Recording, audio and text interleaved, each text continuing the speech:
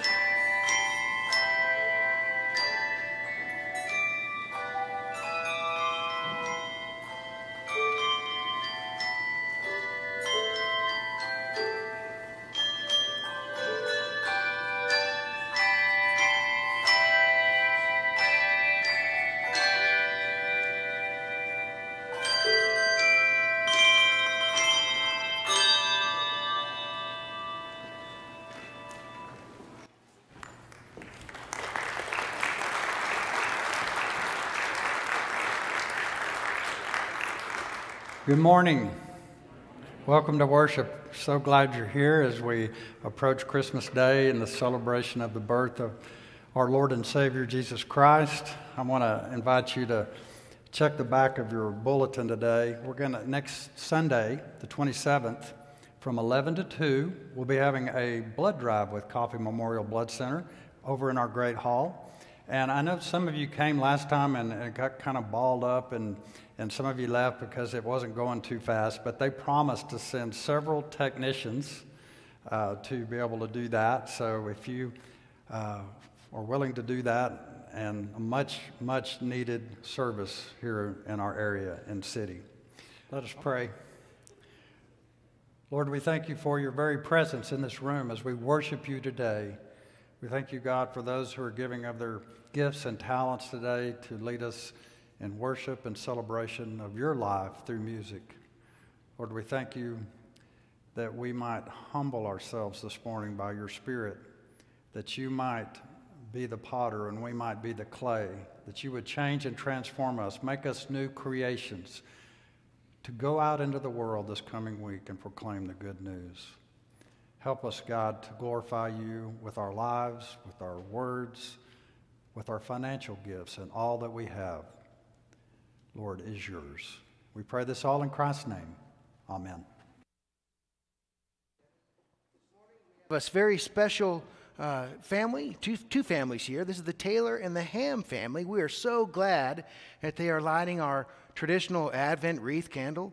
And um, also, you need to know that uh, Amy's daughter, uh, Olivia, um, she and her fiance, Coleman, will be married in our church January 9th. In three weeks, three weeks. They were supposed to be here, but they are on the front line of ministry. She is an ER nurse and working this morning. He's also a sheriff in the sheriff's department. So we appreciate them and we are glad that you are here to light our Advent wreath candle. Isaiah 11, 6 through 7. The wolf will live with the lamb, the leopard will lie down with the goat, the calf and the lion and the yearling together, and a little child will lead them. The cow will feed with the bear, their young will lie down together, and the lion will eat straw like the ox. Every year we light candles as we prepare for the coming of Christ. More and more candles, more and more light. As we watch and wait for Jesus, the light of the world. God of promise, come into our darkness, renew your hope, your peace, your joy, your love in us. For you alone bring life out of death. Receive God's promise of love from Psalm 36. Your steadfast love, O Lord, extends to the heavens your faithfulness to the clouds. Your righteousness is like the mighty mountains. Your judgments are like the great deep. You save humans and animals alike, O Lord. How precious is your steadfast love, O God. All people may take refuge in the shadow of your wings. They feast on the abundance of your house, and you give them drink from the river of your delights. Amen. Thank you all. So, today, as we begin our Christmas cantata, you are invited to sing along if you know the songs. So, now let's worship the Lord with our Christmas cantata.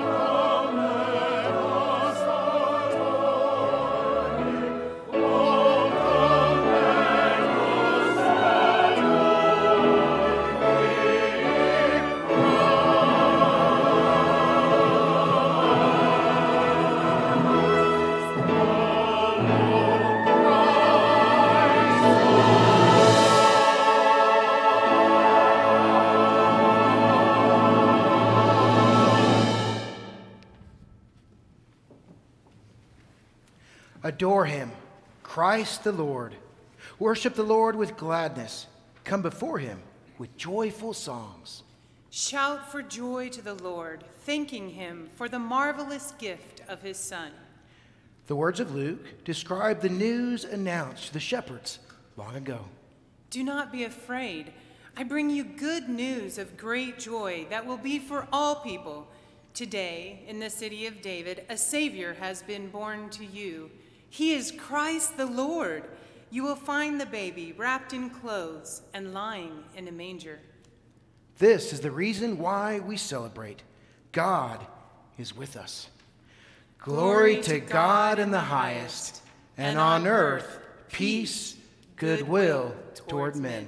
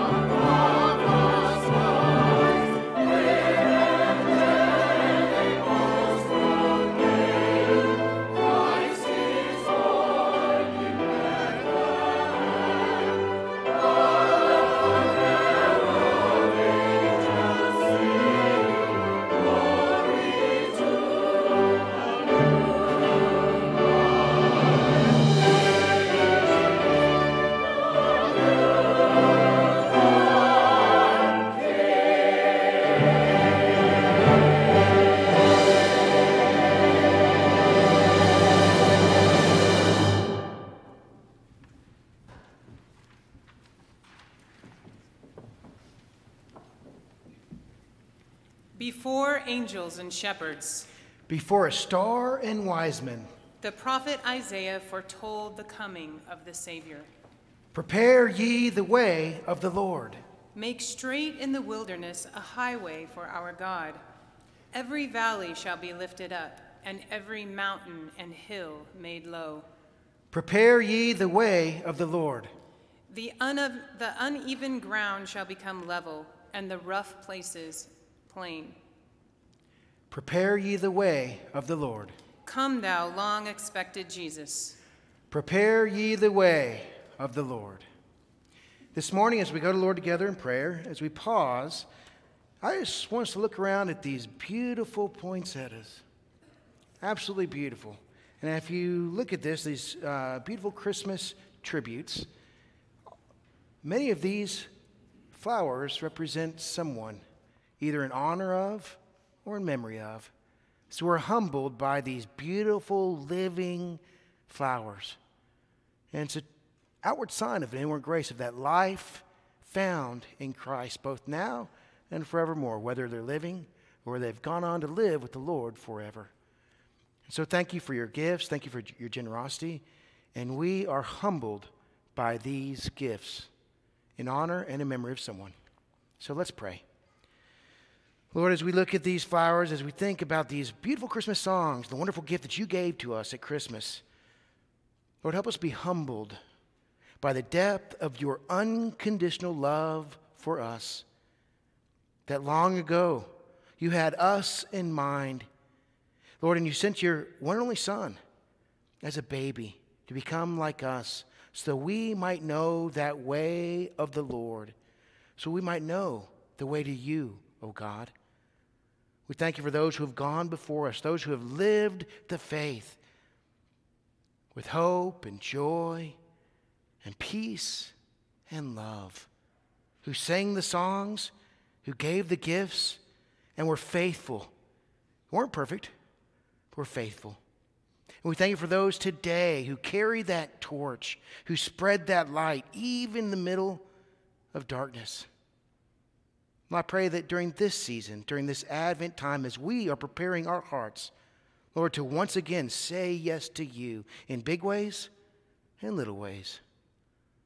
And I pray that you will guide us by that light, touch our hearts, transform our lives. Lord, even be with us now. So, Lord, thank you that your presence is with us, whether we're here as the congregation or wherever we are. Thank you that you're with us. We pray for those who are sick, those who are struggling, Lord, those who need your tender love and care. We pray that you would surround them with Christians that will bless them and encourage them, especially during this time.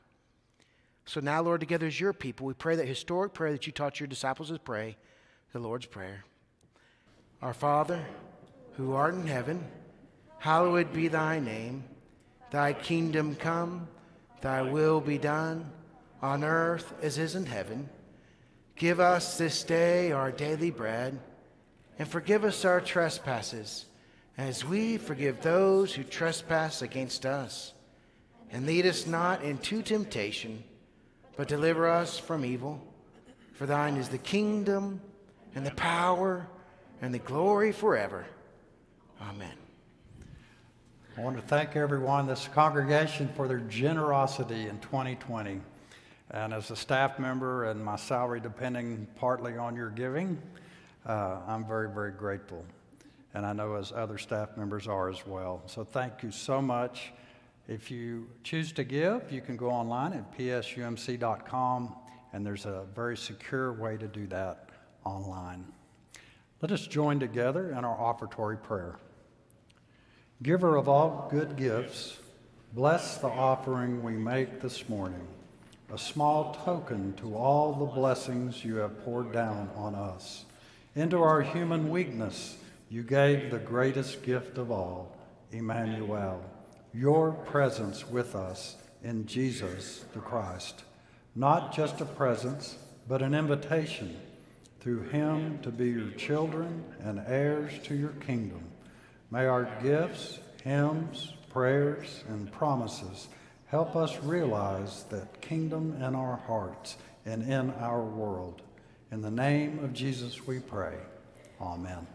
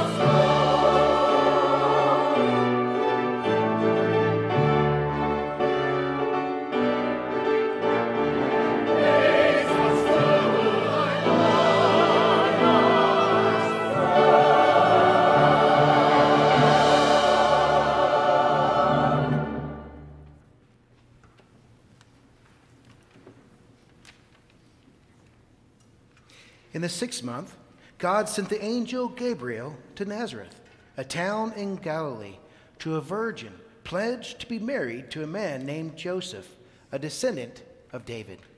A young virgin named Mary was chosen of God to bear the promised Messiah. Do not be afraid, Mary, for you have found favor with God. And now you will conceive in your womb and bear a son, and you will name him Jesus.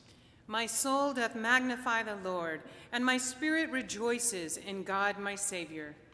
Emmanuel, God, God, with, with us. us.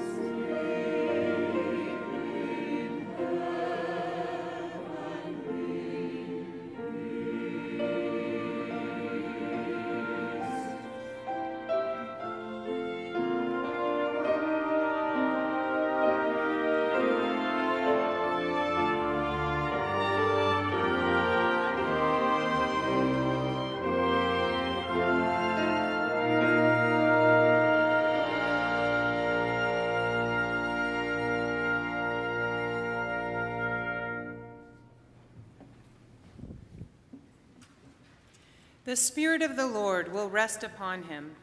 The Spirit of wisdom and understanding, the Spirit of counsel and of power, the Spirit of knowledge and of the fear of the Lord. The wolf will lie down with the lamb, the leopard will lie down with the goat, the calf, the lion, and the yearling together, and a little child will lead them. He shall be called Wonderful, Counselor, the Mighty God, the Everlasting Father. the Prince of Peace. In him was life. And that life was the light of all the people. He is the light. Arise, shine, for your light has come.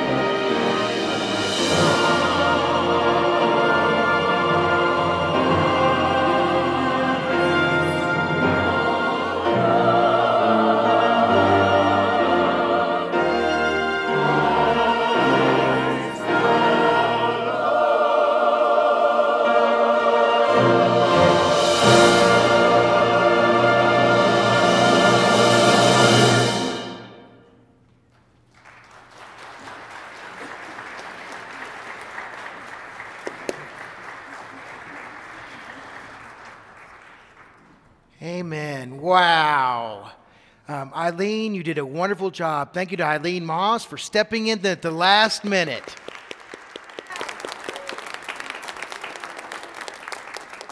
Thank you to our wonderful choir. They have put a lot of work into this. God honored all of your preparations. Thank you. It's like now Christmas can start. You know, let's hear it for him. Thank you. Thank you. And uh, let, us uh, praise the Lord for our orchestra and our brass and our, our instruments.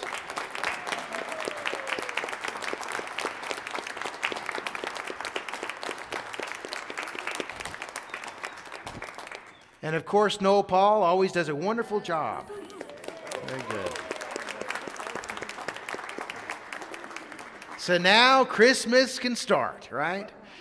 But, um, but as we close here today, thank you for your support of Polk Street this year.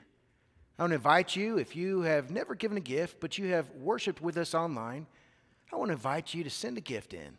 Maybe drop it by the church. Something, somehow. Doesn't matter the amount, but God will honor your gift and God will help us as Polk Street United Methodist Church finish strong and bless our community. So you're welcome to do that. And also, if you are traveling during the Christmas season, on Christmas Eve at 7 o'clock, we will have our candlelight and communion service. So if you're in town, you're welcome to come. We will be socially distancing, we'll be wearing masks, and we will be hand sanitizing. Everyone will receive their individual communion elements and also a candle. And everyone will be safe as we possibly can make it. But if you feel uncomfortable in coming down at our physical plant, you're welcome to worship with us online. But also, if you're traveling, I invite you to do that. We'll also be having an 11 o'clock service live, but not online, this Christmas Eve uh, on December 24th. But as we close your day, boy, what a, what a wonderful gift we've been given. What a wonderful blessing it is to be here at Polk Street United Methodist Church. So I pray that you and your family will have a beautiful Christmas. And as I look out, I see so many of our, our families who are kind of back in town some of our college students. It's good to see you all. And I hope that everyone stays safe, whatever you do, wherever you go. So now, please stand as we receive this benediction. And now go forth with the promise of Christmas that love, joy, peace, and hope. That God is with us both now and forevermore. And all of God's people said, Amen. Amen.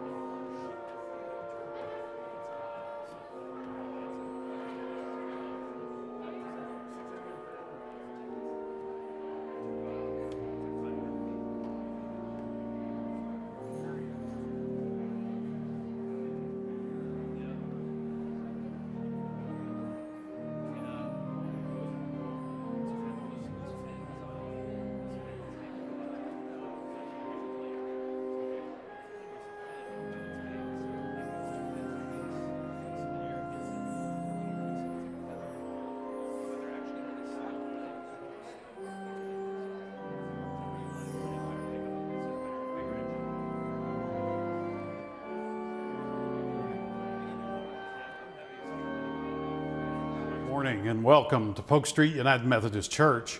I'm Mike Jones, your business administrator. We remember and give thanks to God for our rich history and those who made amazing differences in our lives. The Finance Committee thought it appropriate to begin our 2021 stewardship campaign. This year, we would like to show you some trustee projects that have been happening during this unprecedented time of our lives. I am standing at the entrance of the oldest structure of our church. This 92 year old building has stood the test of time, but often needs remodeling or updating to meet the present needs of our ministries. Zach Plummer, our Board of Trustees chair, will give you some details about these projects.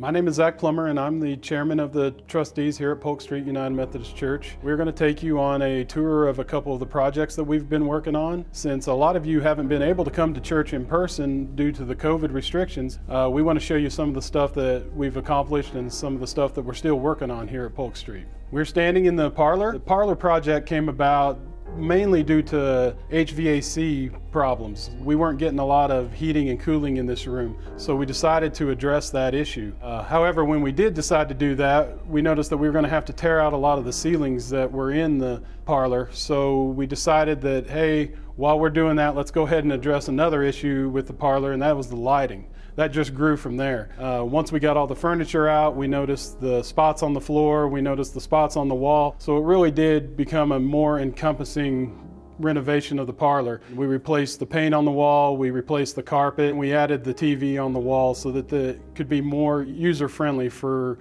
any type of uh, gathering. All right, we are now above the sanctuary. We're up in the uh, loft up above where the mechanical units are. We as the trustees, we had some problems with the one of the mechanical units uh, had a bad coil, it was leaking. In order to replace that, we had to figure out a way to get that coil, which weighed somewhere around 300 to 400 pounds, out. As the trustees, we got with Leonard and we decided we were going to need to build a new catwalk up here. We came up and we spent $25,000 uh, having them build a new catwalk, which uh, allowed us to be able to get that coil out. Also will allow us to maintenance the uh, mechanical units in the future whenever we need to replace the air handlers. Uh, it'll allow us to get that equipment out and the new equipment in. Previously, the there wasn't a walkway. We, we actually made it wider. We made it four foot wide. We put a handrail for safety. It is sturdy enough that we can roll a cart across in order to get the heavy equipment down. This is the equipment, the air handling unit that serves both the right and left side of the sanctuary. As part of a future capital campaign, we will have to be looking at replacing both of these air handling units. So this will help us in those future endeavors of replace, getting this equipment out and getting the new equipment in. We're now out in the columbarium, which is located between Wesley Hall and the CDC. Uh, we will currently have two columbarium pillars. Each of them have 36 8 by 8 niches and 36 12 by 12 niches with double occupancy. Both of them will face inward towards the uh, new fountain. Uh, we are hoping that construction is complete here in the next couple weeks. This is one of the 12 by 12 niches. We have a special key that will take off the cover and you can place two urns inside. We also have the 8 by 8 sizes. It'll hold two urns as well and there's 36 8 by 8s and 36 12 by 12s. We'll also have a fence and a gate with that similar look with the masonry columns and the wrought iron fencing in between. The ground surface will be, will be pavers with uh, three different colors. The backside of the columbariums were finished with uh, stucco for now. However, they allow for expansion of columbariums as the need arises. This year's theme is Giving from the Heart, a reminder that it is our collective privilege to give of our resources to our church throughout the year.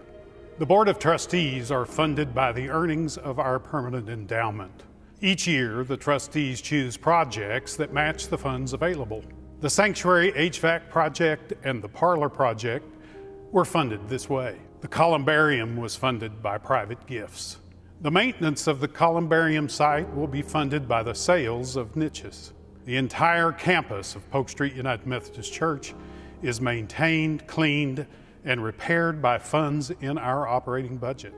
Thank you for your generous gifts throughout the year to help sustain the ministries of our church. God bless each of you as you give from the heart.